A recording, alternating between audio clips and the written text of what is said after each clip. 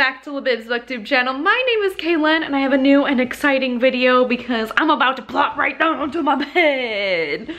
Hey yo, what's up? Um, so I want to do a reading vlog this weekend because I have so much to read and I finally have the time to do it. So the main gist of this reading vlog is I am going to try to read 50 books this year. Um, so my Goodreads goal for this year is 24 since I'm going to be 24 years old this year. And as of right now, I currently have read 44 books. I haven't logged a book yet. Um, I'm currently reading Diary of the Wimpy Kid, Contagion by Erin Bowman. Like, I have a couple of reads. Like, there's also Vampironica that I want to sleep mask in there. But I also want to get to Vampironica. There are so many books that I want to read. And my bright idea, my bright human self decided it was a good decision to um, check out the Goodreads Choice Awards because those are on right now. And I actually have read quite a few books on these lists. Um, right now we're in the semifinal, which is scary because the first round I was like, oh my goodness, I read so many books. And I was just like so shocked at me being like, on top of it this year because normally I'm like, well, I read like maybe two books and I'll just vote for them. But this year, I actually got a lot read. To help get me to my 50 book goal this weekend and finishing some other books, I have decided to go to the library, which I love the library and especially what I'm going to the library for. I'm going to the library. So this is the semifinal round nominees. I've already read and voted for Pumpkinheads because I love it and nobody's changing my mind. So as I scroll down, there's a bunch of other um, graphic novels that I have not read yet. I've read um, Under the Moon, which was all right. Um, there's like Adventure Zone that I'd like to get to. Maybe Laura Dean is breaking up with me. Mooncakes, I got that off of uh, NetGalley and I still haven't read it. Teen Titans Raven, The Wicked and the Divine. Like I just want to get to more of these. I also have um, poetry for the semifinal round nominees. I have read Atticus's book. I've also read Amanda Lovelace. And I think that's it for poetry. Yes, that's it for poetry, but I do want to pick up more poetry books to fully decide on which book that I want to vote for best poetry. So that being said, I want to go to the library, pick up some poetry books, pick up some graphic novels, and try to read the most that I can possibly read this weekend. I know I'm neglecting my TBR, how dare I? Like, what's new? Like, Kaelyn goes to the library and rents out like 20 books, but doesn't read any of the books at home. I also really want to start Six of Crows by Leigh Bardugo because it's just so beautiful and and everyone raves about this book. I also want to start Scythe by Neal Shusterman because the last book in the trilogy is out. Like there's so many things that I want to read. And then here I am going to the library picking out poetry books and graphic novels. But I know I'll get them done, easy, quick reads. I'm gonna be over my Goodreads goal this year, which is super exciting because I know I have it in me. I have a whole month and a half left and I'm just dying to get to 50 bucks this year. Let's go on a little journey into my vehicle to the library to pick out some books. I'll see you once I get to the library.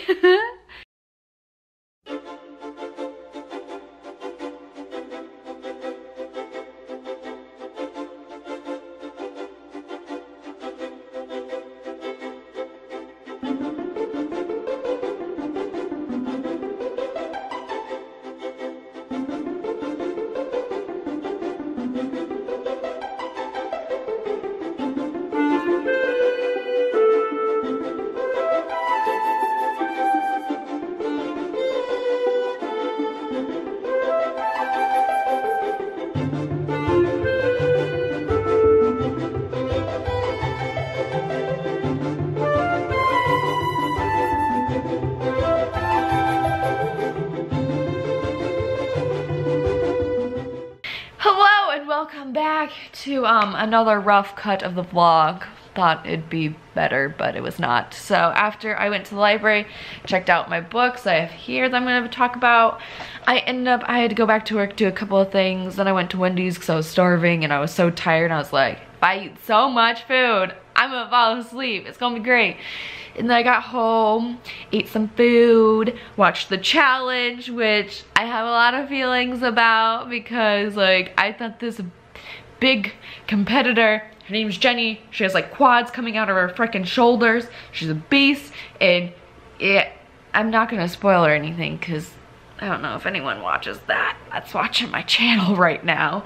But that was on, so that shook me. And then it's like, I'm ready to go to bed because I'm tired. And then it's now like 10.30. I spent a roughly um, 20, 15 minutes reading today. I have started Diary of the Wimpy Kid, The Wrecking Ball by Jeff Kinney. And I haven't uh, finished it yet, so I got a little bit more reading done. I have this much left to go.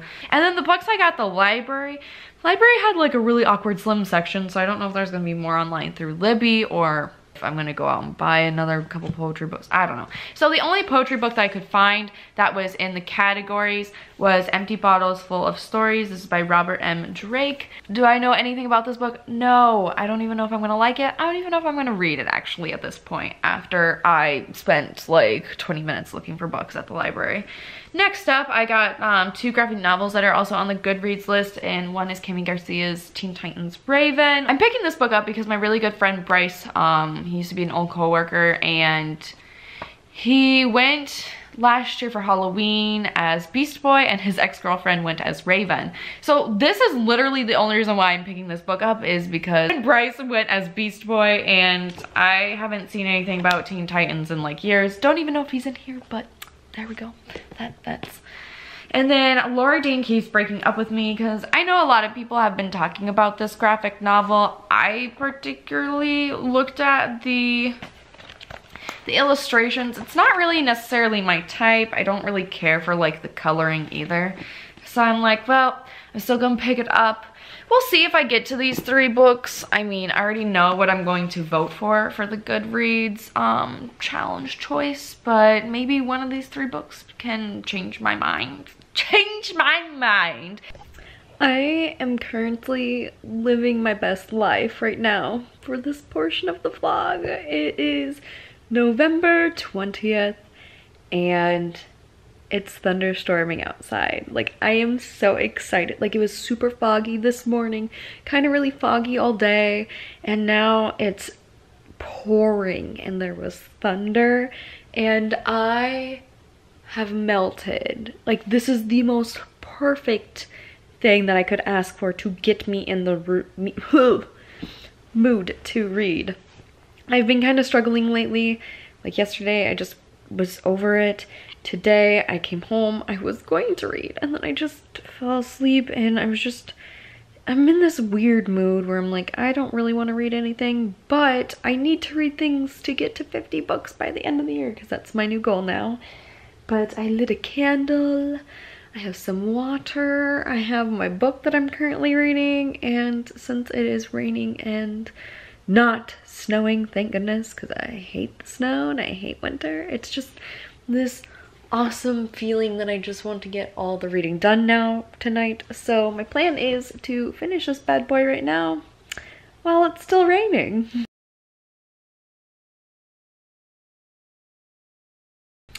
I just can't find a good angle. Like I'm sitting way too high up in this bed and I don't want to hold my hand up because I'm lazy and oops, I just spoiled a little bit of this clip for you. So let's, let's get you settled in there. There we go. Then the latest clip was me reading and eventually finishing Diary of the Wimpy Kid, The Wrecking Ball by Jeff Kinney. This is the 14th book in the series, which I rated 4 out of 5 stars. It was one of my favorites out of the series. I think the last two have become one of my favorites out of the series because they're just so relatable.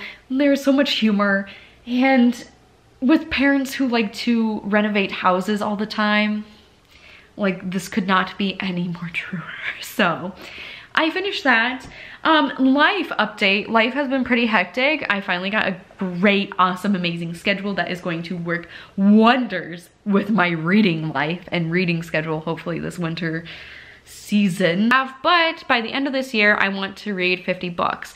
And right now, I'm currently at 44, and my goal this year was to read 24 books, so overachiever status here. But I want to read 50 books this year, and so my goal is to continue reading comic, graphic novel, poetry books, hmm, something easy and quick that I can read. So next up that I plan to read is Love and Misadventure by Lang Leave. This book was recommended to me by a Barnes & Noble bookseller.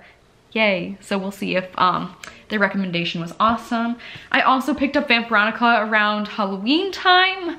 I randomly stumbled across this. My friend Foshi and I were in Barnes & Noble just hoot tooting around and looking at all the books, making him read some Sarah J Maas, uh, Court of Mist and Fury. I haven't read it yet except for page 22. And so I made him read page 22. That was interesting. We then eventually head over to the graphic novel comic section where this was just kind of like this on the shelf and I was like, don't mind if I do. Like I shouldn't, but I'm going to. So I splurged on that. So I want to read those two books. Um, still currently reading Contagion. I'm still in the middle of it. Will I finish it? Who knows? I do care about like two main characters in this book. I really do care about like two souls very much and I'm like scared to death like something's going to happen to them. Will they die?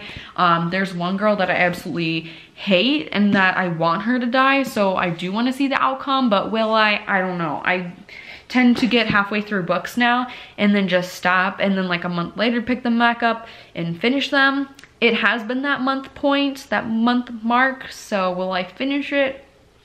And last but not least, last year I ended up picking up Illuminae by Amie Kaufman and Jay Kristoff around Thanksgiving time. And I remember I would get off of work, read Illuminae, and then like go to bed, and then read Illuminae, go to work, go to bed. It's like this endless cycle of work, Illuminae, sleep, work, Illuminae, sleep. And it was just, I think it was like the book that I read like within the quickest amount of time in a long time and it was one of my books that reignited my love and like I got so excited. The audiobook was amazing. The one guy was a freaking creep in the book. It was it made me afraid of artificial intelligence though, but it was an amazing, outstanding book and I loved it. So, that being said, around Thanksgiving this year, I plan to read another book that I think I will love and also give another five stars to, and that is Six of Crows by Leigh Bardugo. I've been afraid and hesitate I've been afraid to read this book for I don't know how many years I've owned it, but the black edges are just so beautiful and I'm afraid I'm gonna like destroy them or ruin them or I'm gonna drop the book. Like I dropped this book between the bed and it got all scratched up so I'm kind of upset about that. But like that's what I'm afraid is going to happen to this book. I'm scared and you know what? It's winter now.